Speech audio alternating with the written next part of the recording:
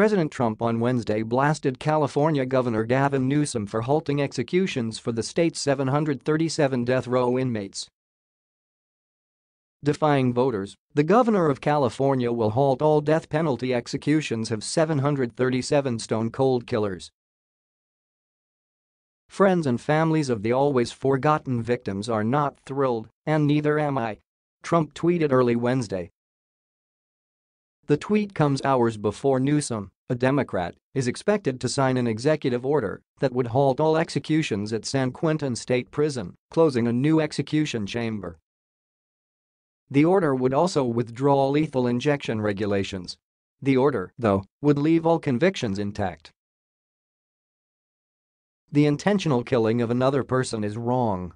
And as governor, I will not oversee the execution of any individual, Newsom said in a prepared statement obtained by the Southern California News Group. Newsom, who has been a vocal opponent of the death penalty, said that the system is a failure that is discriminated against defendants who are mentally ill, black and brown, or can't afford legal representation. He also said that many innocent people have been wrongly convicted and sometimes put to death.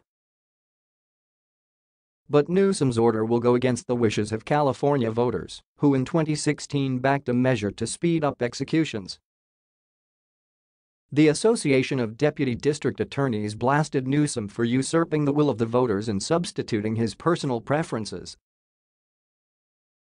but Newsom said that the death penalty is flawed because it is irreversible and irreparable in the event of human error and expensive, costing California $5 billion since 1978. Meanwhile, Trump has been a supporter of the death penalty. In October, Trump called for the death penalty for those who kill police officers